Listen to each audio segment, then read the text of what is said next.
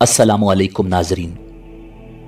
नाजरीन, बनी नुजैर के यहूदियों को मदीना मुनवरा में उनके इलाके से निकाल दिया गया था। इसी वजह से उनके बड़े बड़े सरदार मक्का मुआजमा गए।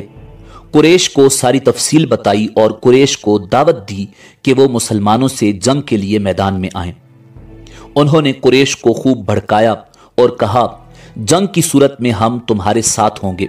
यहाँ तक कि मोहम्मद सल्लल्लाहु अलैहि और उनके साथियों को नेस्त तो नाबूद कर देंगे। मुसलमानों से दुश्मनी में हम तुम्हारे साथ हैं। यह सुनकर मुशरकिन के सरदार अबू सुफियान ने कहा, हमारे नज़दीक सबसे ज़्यादा महबूब और पसंदीदा शख्स वो है जो मोहम्मद की दुश्मनी में हमारा मददगार हो। लेकिन हम उस वक्त तक तुम पर भरोसा नहीं करेंगे जब तक कि तुम हमारे मबूदों को सजदा न कर लो, ताकि हमारे दिल मुतमिन हो जाएँ। ये सुनते ही यहूदियों ने बुतों को सजदा कर डाला। अब कुरेश ने कहा, ए यहूदियों, तुम एल किताब हो और तुम्हारी किताब सबसे पहली किताब है। इसलिए तुम्हारा इल्म भी सबसे ज़्यादा है। लिहाजा तुम बताओ, हमारा दीन बेहतर है या मोहम्मद का? यहूदियों ने जवाब में कहा तुम्हारा दीन मोहम्मद के दीन से बेहतर है और हक व सदाकत में तुम लोग उनसे कहीं ज़्यादा बड़े हुए हो। यहूदियों का जवाब सुनकर कुरेश खुश हो गए। नबी अकरम सल्लल्लाहु अलैहि वसल्लम से जो उन्होंने जंग का मशवरा दिया था, वो भी उन्होंने कबूल कर लिया। चुनाचे उसी वक्त कुरेश के पचास नौजवान निकले। उन्होंने खान काबा का पर्दा पकड़कर उसको अपने सीने से लगाकर यह अलफ दिया कि वक्त पर एक दूसरे को दगा नहीं देंगे, जब तक उनमें से एक शख्स भी बाकी है। मोहम्मद वसल्लम के खिलाफ मुतहद रहेंगे। अब कुरेश ने जंग की तैयारी शुरू कर दी। यहूदियों ने भी और कबाइल को साथ मिलाने की कोशिश जारी रखी। इस तरह एक बड़ा लश्कर मुसलमानों के खिलाफ तैयार हो गया। हुजूर नबी करीम सल्लल्लाहु को कुफ़ार की तैयारियों की इत्तलात मौसूल हुई। तो सिहाबा कराम रिजवान तलम अजमाइन को मशवरा के लिए तलब कर लिया। आपने उन्हें दुश्मन की जंगी तैयारियों के बारे में बताया। फिर उनसे मशवरा तलब फरमाया कि हम मदीना मुनवरा में रहकर दुश्मन का मुकाबला करें या बाहर निकल कर करें। इस पर हज़रत सलमान फारसी रज़ी अल्लाह तहों ने मशवरा दिया। ए अल्लाह के रसूल, अपने मुल्क फारस में जब हमें दुश्मन का खौफ होता था तो शहर के गिर्द खंदक खोद लिया करते थे। हज़रत सलमान फारसी रज़ी अल्लाह तहों का यह मशवरा सभी को पसंद आया। चुनाचे मदीना मुनवरा के गिर्द खंदक खोदने का काम शुरू कर दिया। सब सिहाबा कराम रिजवान अजमाइन ने खंदक की खुदाई में हिस्सा लिया। खुद अल्लाह के रसूल इमामबिया जनाब मोहम्मद वसल्लम ने भी खंदक खोदी। खंदक की खुदाई के दौरान सिहाबा कराम रिजवान अजमाइन को भूख ने सताया। वो जमाना आम तंगदस्ती का था। खुदाई के दौरान एक जगह सख्त पथरीली ज़मीन आ गई। सिहाबा कराम रिजवान अजमाइन उस जगह खुदाई न कर सके। आखिर हुजूर नबी अकरम सल्लल्लाहु को खबर की गई। आपने कुदाल अपने हाथ में ली और उस जगह मारी। एक ही जरब में वो पथरीली ज़मीन रेत की तरह बिखर गई। जरब लगाने के दौरान तीन मरतबा वहाँ से एक अजीब रोशनी नज़र आई। सिहाबा कराम रिजवान तलम अजमाइन ने उस रोशनी के बारे में पूछा तो रसूलुल्लाह सल्लल्लाहु अलैहि वसल्लम ने इरशाद फरमाया, पहली रोशनी में अल्लाह ताला ने मुझे यमन की फतह की खबर दी है। दूसरी रोशनी में अल्लाह ताला ने मुझे शाम और मगरब पर गलबा अता फरमाने की इत्तला दी, और तीसरी रोशनी के ज़रिए अल्लाह ताला ने मशरक की फतह मुझे दिखाई है। गर्ज जब अल्लाह के रसूल वसल्लम और सिहाबा कराम रिजवान तलम अजमाइन खंदक की खुदाई से फारिग हुए तो उस वक्त कुरेश और उसके हामियों का लश्कर मदीना मुनवरा के बाहर पहुँच गया। इस जंग में काफिरों की दस हज़ार तादाद के मुकाबले में मुसलमान सिर्फ़ तीन हज़ार थे। मुशरकिन का लश्कर मदीना मुनवरा के गिर्द खंदक देखकर हैरत जदा रह गया वो पुकार उठे, खुदा की कसम, ये तो बड़ी ज़बरदस्त जंगी चाल है। अरब तो इस जंगी तदबीर से वाकिफ नहीं थे। मुशरकिन के दस्ते बार बार खंदक तक आते रहे और वापस जाते रहे। मुसलमान भी अचानक खंदक तक आते और काफिरों की तरफ़ तीर बरसाते, फिर वापस लौट जाते। काफिरों में से नौफल बिन अब्दुल्ला ने अपने घोड़े पर सवार होकर खंदक को उबूर करने की कोशिश की, लेकिन उसका घोड़ा खंदक के आर पार न पहुँच सका और सवार समेत खंदक में गिरा। नौफल की गर्दन की हड्डी टूट गई। एक रिवायत में है कि हज़रत अली करम वजहुल करीम ने खंदक में उतरकर उसे कत्ल कर दिया था। काफिरों और मुसलमानों के दरमियान बस इस किस्म की छेड़छाड़ होती रही। काफिर दरअसल खंदक की वजह से मुसलमानों पर हमलावर होने के काबिल नहीं रहे थे। लड़ाई से पहले औरतों और बच्चों को एक छोटे से किला में पहुँचा दिया गया था। यह जगह हज़रत हसान बिन साबित रज़ी अल्लाह तहो की थी। खुद हज़रत हसान बिन साबित रज़ी अल्लाह तहो भी वहीं थे। उन औरतों में हुजूर नबी करीम सल्लल्लाहु अलैहि वसल्लम की फुफी हज़रत सफिया रज़ी अल्लाह तहा भी बतौर मुहाफिज थी। एक यहूदी जासूसी के लिए उस तरफ़ निकल आया। हज़रत सफ़िया रज़ी अल्लाह तहा की नज़र उस यहूदी पर पड़ी तो उन्होंने हज़रत हसान बिन साबित रज़ी अल्लाह तहों से कहा, ए हसान ये शख्स दुश्मन को इस किला में औरतों और बच्चों की मौजूदगी की खबर कर देगा और दुश्मन इस तरफ़ से हमलावर हो सकते हैं। लिहाजा तुम नीचे उतर कर इसे कत्ल कर दो। इस पर हज़रत हसान रज़ी अल्लाह तहों ने कहा, तुम्हें मालूम है, मैं इस काम का आदमी नहीं हूँ। हज़रत हसान रज़ी अल्लाह तहो दरअसल शायर थे और जंग के तरीकों से वाकिफ नहीं थे। फिर उनकी उम्र भी बहुत ज़्यादा थी, बूढ़े और कमज़ोर थे, इसलिए उन्होंने ऐसी बात कही थी। हज़रत सफिया रज़ी अल्लाह तहा ने जब ये देखा कि हसान ये काम नहीं करेंगे तो उन्होंने एक मोटा सा डंडा उठा लिया और खुद नीचे उतर आई। खामोशी से उसके पीछे गईं और अचानक उस पर हमलावर हुई। उन्होंने डंडे के कई वार उस पर किए, यहाँ तक कि वो खत्म हो गया। फिर तलवार से उसका सर काट कर उन यहूदियों की तरफ़ उछाल दिया, जो उसके पीछे आ रहे थे। वो सब खौफजदा होकर भाग निकले। इधर मुशरकिन में से चंद लोग आगे बढ़े। उन्होंने खंदक उबूर करने के लिए अपने घोड़ों को दूर ले जाकर खूब दौड़ाया और जिस जगह खंदक की चौड़ाई कम थी, उस जगह से लंबी छलांग लगाकर आखिर खंदक पार करने में कामयाब हो गए। उन लोगों में अमर बिन अब्दवद भी था। वो अरब का मशहूर पहलवान था। उसके बारे में मशहूर था कि वो बहुत बहादुर है और अकेला एक हज़ार आदमियों के लिए काफ़ी है। खंदक उबूर करते ही वो ललकारा, कौन है जो मेरे मुकाबले में आता है? उसकी ललकार सुनकर शेर खुदा अली मुर्तजा करमल्ला वजहुल करीम आ गए। उन्होंने नबी करीम सल्लल्लाहु अलैहि वसल्लम से अर्ज़ किया, अल्लाह के रसूल, इसके मुकाबले पर मैं जाऊँ? अल्लाह के रसूल सल्लल्लाहु अलैहि वसल्लम ने इरशाद फरमाया, बैठ जाओ, ये अमर बिन अब्द है। उधर अमर ने फिर आवाज़ दी। हज़रत अली करमल्लाह वजुल करीम फिर उठ खड़े हुए। आप सल्लल्लाहु अलैहि वसल्लम ने उन्हें फिर बिठा दिया। उसने तीसरी बार फिर मुकाबले के लिए आवाज़ लगाई। आखिर आप सल्लल्लाहु अलैहि वसल्लम ने हज़रत अली करमल्लाह वजुल करीम को इजाज़त दे दी। हज़रत अली करमल्लाह वजुल करीम ये शेर पढ़ते हुए मैदान में आए। जल्दी ना कर, तेरी ललकार को कबूल करने वाला तेरे सामने आ गया है। जो तुझसे किसी तरह आजिज और कमज़ोर नहीं है। एक रिवायत में है कि नबी करीम सल्लल्लाहु अलैहि वसल्लम ने हज़रत अली करम अल्लाह वजुल करीम को अपनी तलवार जुल्फ़िकार अता फरमाई। अपना अमामा उनके सर पर रखा और अल्लाह से उनकी कामयाबी की दुआ की। हज़रत अली करमल्लाह वजुल करीम ने मुकाबले से पहले उसे इस्लाम की दावत दी और बोले, मैं तुम्हें अल्लाह और उसके रसूल की तरफ़ बुलाता हूँ और इस्लाम की दावत देता हूँ। उसने इनकार किया और कहा भतीजे, मैं तुम्हें कत्ल करना नहीं चाहता। वापस लौट जाओ। जवाब में हज़रत अली करमल्लाह वजुल करीम ने फरमाया, लेकिन मैं तो तुम्हें कत्ल करना चाहता हूँ। यह सुनकर अमर बिन अब्दवद को गुस्सा आ गया। वो उस वक्त पूरी तरह लोहे में गर्क था। चेहरा भी खुद छुपा रखा था। वो घोड़े से कूद पड़ा और तलवार सौंत कर उनकी तरफ़ बढ़ा।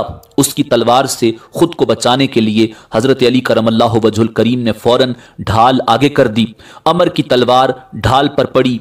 ढाल फट गई। तलवार हज़रत अली करमल्लाह वजुल करीम की पेशानी तक पहुँच गई। पेशानी पर जख्म आ गया। अमर के वार से हज़रत अली करमल्लाह वजुल करीम की पेशानी से खून बह निकला। मगर उन्होंने फ़ौरन जवाबी हमला किया। अमर बिन अब्दवद की गर्दन के निचले हिस्से पर उनकी तलवार लगी। तलवार हंसली की हड्डी को काटती चली गई। वो खाक खून में लौटता नज़र आया। मुसलमानों ने अल्लाह अकबर का नारा लगाया। हुजूर नबी करीम सल्लल्लाहु अलैहि वसल्लम ने यह नारा सुना तो जान लिया कि अली ने अमर को कत्ल कर दिया है। उसके गिरते ही जो लोग उसके साथ आए हुए थे वापस भागे। हज़रत जुबैर रज़ी अल्लाह तहों ने उनका पीछा किया और भागते हुए एक काफर पर तलवार का वार किया। वो दो टुकड़े हो गया। हज़रत जुबैर रज़ी अल्लाह तहों की तलवार उसके सर से होती हुई कूले तक पहुँच गई। इस पर बाज मुसलमानों ने हज़रत जुबैर रज़ी अल्लाह तहों से कहा, ए अबा अब्दुल्ला, हमने तुम्हारी तलवार जैसी काट किसी की नहीं देखी। अल्लाह की कसम, ये तलवार का नहीं, तलवार चलाने वाले का कमाल है। तमाम दिन जंग होती रही, खंदक के हर हिस्से पर लड़ाई जारी रही। इस वजह से हुजूर नबी करीम सल्लल्लाहु अलैहि वसल्लम और कोई मुसलमान भी जोहर से इशा तक कोई नमाज़ न पढ़ सका।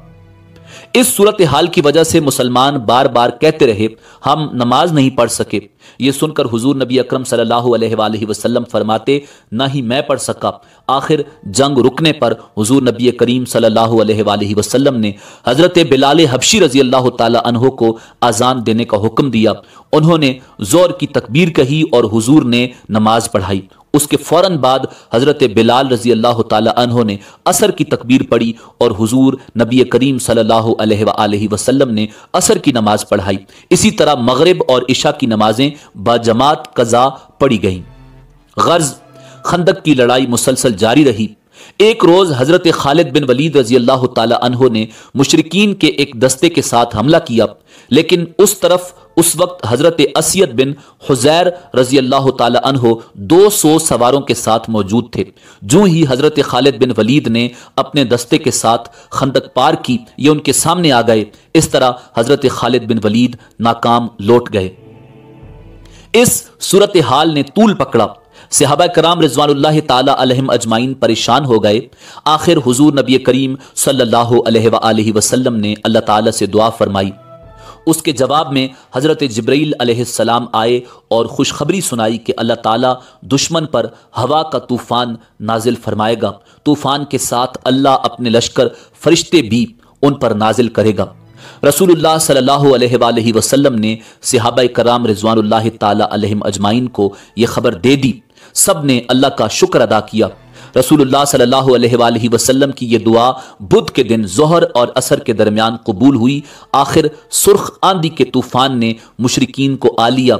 उन दिनों मौसम यूँ भी सर्द था, ऊपर से उन्हें उस सर्द तूफ़ान ने घेर लिया।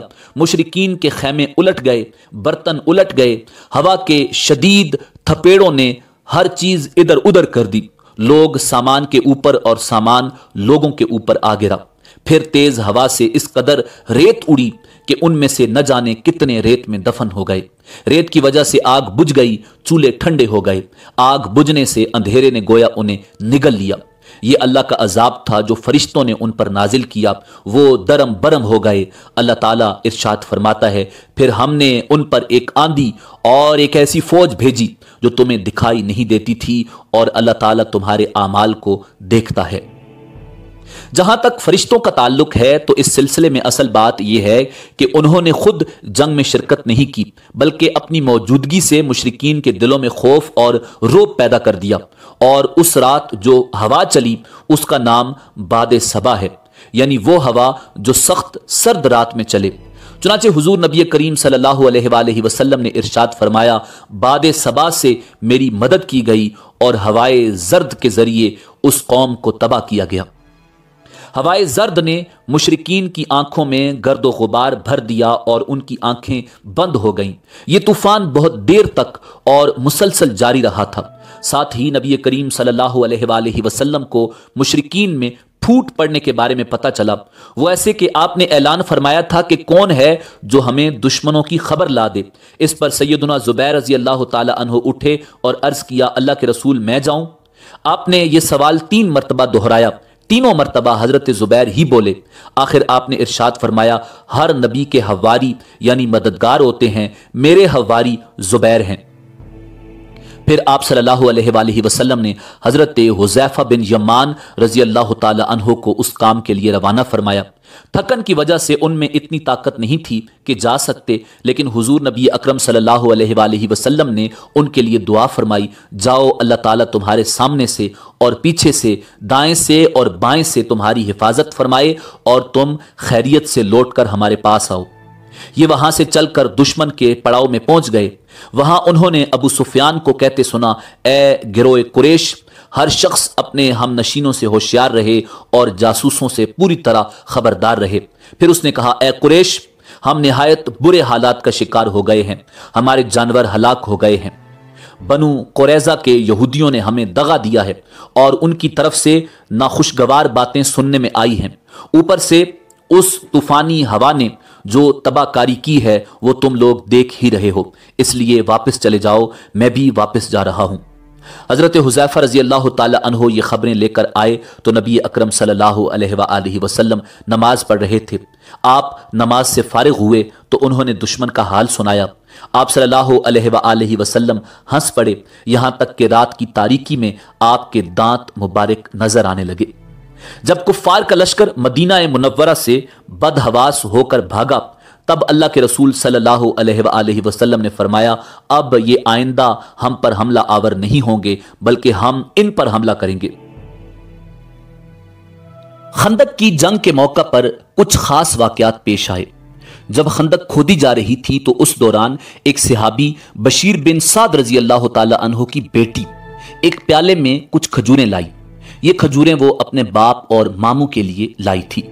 हजूर नबी अकरम सल्लल्लाहु वसल्लम की नज़र उन खजूरों पर पड़ी तो फरमाया, खजूरें इधर लाओ। उस लड़की ने खजूरों का बर्तन आप सल्लल्लाहु अलैहि वसल्लम के हाथों में उलट दिया। खजूरें इतनी नहीं थी कि दोनों हाथ भर जाते। आपने ये देखकर एक कपड़ा मंगवाया, उसको फैलाकर बिछाया। फिर पास खड़े सिहाबी से फरमाया, लोगों को आवाज़ दो दौड़ कर आए। चुनाचे सब जल्दी से आ गए। आप सल्लल्लाहु अलैहि वसल्लम अपने हाथों से खजूरें उस कपड़े पर गिराने लगे। सब लोग उस पर से उठा उठाकर खाते रहे। खजूरें शुरू करने से पहले सब लोग भूखे थे। भूख की हालत में उन सबने ये खजूरें खाई। सबके पेट भर गए और आपके हाथों से खजूरें अभी तक गिर रही थीं। ऐसा ही एक वाक्य हज़रत जाबिर रज़ी अल्लाह तहो का पेश आया। उन्हें जब आप सल्लल्लाहु अलैहि वसल्लम की शदीद भूख का इल्म हुआ तो घर गए। उनके घर में बकरी का एक छोटा सा बच्चा था और कुछ गंदुम भी थी। उन्होंने कहा कि नबी अकरम सल्लल्लाहु अलैहि वसल्लम को भूख लगी है, लिहाजा ये बकरी ज़िबा करके सालन तैयार कर लो, गंदुम को पीस कर रोटियाँ पका लो। मैं अल्लाह के नबी को लेकर आता हूँ। हज़रत जाबिर रज़ी अल्लाह तहो कुछ देर बाद हुजूर नबी अकरम सल्लल्लाहु अलैहि वसल्लम की खिदमत में हाजिर हुए और आहिस्ता आवाज़ में कहा कि आपके लिए घर में खाना तैयार कराया है। यह सुनकर हुजूर ने किसी से कहा, ऐलान कर दो, जाबिर के हाँ सब की दावत है। चुनाचे पुकार कर ऐलान किया गया कि सब लोग जाबिर के घर पहुँच जाएँ। हज़रत जाबिर रज़ी अल्लाह तहो परेशान हो गए कि वो थोड़ा सा खाना इतने लोगों को कैसे पूरा होगा? उन्होंने परेशानी के आलम में इन व इन्ना राजीन पड़ी और फिर घर आ गए। वो खाना हुजूर के सामने रख दिया गया। आपने फरमाया, अल्लाह बरकत दे। फिर आपने बिस्मिल्लाह पढ़ी। सबने खाना शुरू किया। बारी बारी लोग आते रहे और खाकर उठते रहे। उनकी जगह दूसरे लेते रहे। यहाँ तक कि सब लोगों ने खूब पेट भरकर खाना खाया। उस वक्त उन मुसलमानों की तादाद तकरीबन एक हज़ार थी। हज़रत जाबिर रज़ी अल्लाह तहो फरमाते हैं, अल्लाह की कसम, जब सब खाना खाकर चले गए तो हमने देखा घर में अब भी इतना ही खाना मौजूद था, जितना हुजूर नबी करीम सल्लल्लाहु अलैहि वसल्लम के सामने रखा गया था। जब अल्लाह के रसूल सल्लल्लाहु अलैहि वसल्लम गजवा खंदक से फारिग होकर घर आए तो वो दोपहर का वक्त था। हुजूर ने जहर की नमाज़ अदा की और सैयदा आयशा सिद्दीक़ा रज़ी अल्लाह तहा के हजरे में दाखिल हो गए। आप अभी गसल फरमा रहे थे कि अचानक हज़रत जबरील अलैहिस्सलाम स्या रंग का रेशमी अमामा बांधे वहाँ आ गए। हज़रत जबरील अलैहिस्सलाम एक खच्चर पर सवार थे। उन्होंने आते ही आपसे कहा, ए अल्लाह के रसूल, क्या आपने हथियार उतार दिए हैं? आपने फरमाया हाँ उतार दिए हैं। ये सुनकर हज़रत जबरील अलैहिस्सलाम ने कहा, लेकिन अल्लाह ताला के फरिश्तों ने तो अभी हथियार नहीं उतारे। उसके बाद हज़रत जब्राईल अलैहिस्सलाम ने कहा, अल्लाह ताला ने आपको हुक्म दिया है कि आप इसी वक्त बनु कुरैज़ा के मुकाबले के लिए कूच करें, मैं भी वहीं जा रहा हूँ। इस पर हुजूर नबी अकरम सल्लल्लाहु अलैहि वसल्लम ने ऐलान कराया। हर इतात गुजार शख्स असर की नमाज़ बनु कुरैज़ा के मोहल्ले में पहुँच कर पढ़े। उस ऐलान से मुराद ये थी कि रवाना होने में देर न की जाए। आप सल्लल्लाहु अलैहि वसल्लम ने खुद भी फ़ौरन हथियार लगाए। ज़रा बख्तर पहनी अपना नेज़ा दस्ते मुबारक में लिया, तलवार गले में डाली और अपने घोड़े पर सवार हुए। आप सल्लल्लाहु अलैहि वसल्लम के गिर्द सिहाबा कराम रिजवान ताला अजमाइन भी हथियार लगाए घोड़ों पर मौजूद थे। सिहाबा की तादाद तीन हज़ार थी। उनमें छत्तीस घोड़सवार थे। उनमें भी तीन घोड़े हजूर नबी अक्रम सल्लल्लाहु के थे। इस गजबा के मौका पर आपने हज़रत अब्दुल्ला इब्ने उम्म मकतूम रज़ी अल्लाह तहों को मदीना मुनवरा में अपना कायम मकाम मुकर फरमाया। हुजूर ने सबसे आगे हज़रत अली करमल्लाह वजुल करीम को भेजा। हज़रत अली करमल्लाह वजुल करीम परचम लिए हुए बनु कुरैजा की तरफ़ रवाना हुए। हज़रत अली चूँकि आगे रवाना हुए थे, इसलिए पहले वहाँ पहुँचे। उन्होंने मुआजरीन और अंसार के एक दस्ते के साथ बनु कुरैजा के किले के सामने दीवार के नीचे परचम नसब किया। ऐसे में यहूदियों ने हुजूर नबी अकरम सल्लल्लाहु अलैहि वसल्लम को बुरा भला कहना शुरू कर दिया। इस पर हज़रत अली और दूसरे सिहाबा को गुस्सा आ गया। नबी अकरम सल्लल्लाहु अलैहि वसल्लम वहाँ पहुँचे तो हज़रत अली ने उन्हें यहूदियों की बदजुबानी के बारे में बताया। आपने उनकी पूरी आबादी को घेरे में लेने का हुक्म दे दिया। यह मुआसरा 25 दिन तक जारी रहा। यहूदी इस मुआसरे से तंग आ गए और आखिरकार आप वसल्लम के सामने हाजिर हो गए। हुजूर नबी करीम सल्लल्लाहु अलैहि वसल्लम ने उन्हें बांधने का हुक्म फरमाया। उनकी मशकें कस दी गईं। उनकी तादाद 600 या साढ़े सात सौ थी। उन्हें एक तरफ़ जमा कर दिया गया। ये सब वो थे जो लड़ने वाले थे। उनके बाद यहूदी औरतों और बच्चों को अवेलियों से निकाल कर एक तरफ़ जमा किया गया। उन बच्चों और औरतों की तादाद एक हज़ार थी। उन पर हज़रत अब्दुल्ला बिन सलाम रज़ी अल्लाह तहों को निगरान बनाया गया। अब ये लोग बार बार आपके पास आकर मुआफ़ी मांगने लगे। इस पर आपने फरमाया, क्या तुम इस बात पर रजामंद हो कि तुम्हारे मामले का फैसला तुम्हारा ही मुंतखब किया हुआ कोई आदमी कर दे? उन्होंने जवाब दिया साद बिन माज रज़ी अल्लाह तहो जो फैसला भी कर दें, हमें मंजूर है। साद बिन माज रज़ी अल्लाह तहो मुसलमान होने से पहले उन यहूदियों के दोस्त और उनके नज़दीक काबिल एहतराम शख्सियत थे। हजूर नबी अक्रम वसल्लम ने उनकी ये बात मान ली। साद बिन माज रज़ी अल्लाह तहो गजवा खंदक में शदीद जख्मी हो गए थे। वो उस वक्त मस्जिद नबवी के करीब एक खैमे में थे। अब हुजूर नबी करीम सल्लल्लाहु अलैहि वसल्लम के हुक्म पर उन्हें बनु कुरैजा की आबादी में लाया गया। उनकी हालत बहुत ख़राब थी। आखिर वो नबी अकरम सल्लल्लाहु अलैहि वसल्लम के पास पहुँच गए। उन्हें सारी बात बताई गई। इस पर हज़रत साद बिन माज रज़ी अल्लाह तहों ने कहा, फैसले का हक तो अल्लाह ताला ही का है, या फिर अल्लाह के रसूल को है? हुजूर नबी करीम सल्लल्लाहु अलैहि वसल्लम ने इरशाद फरमाया, साद, अल्लाह ही ने तुम्हें हुक्म दिया है कि यहूद के बारे में फैसला करो। अब उन्होंने अपना फैसला सुनाया। मैं ये फैसला करता हूँ कि इनके मर्दों को कत्ल कर दिया जाए। इनका माल और दौलत माल गनीमत के तौर पर ले लिया जाए और इनके बच्चों और औरतों को गुलाम और लोंडियाँ बना लिया जाए। हज़रत साद बिन माज रज़ी अल्लाह तहों ने यहूदियों से अपनी सबका दोस्ती की परवाह न करते हुए इतना सख्त फैसला इसलिए सुनाया था कि उन यहूदियों का जुल्म सितम और उनकी फितना अंगेजी हद से बढ़ गई थी।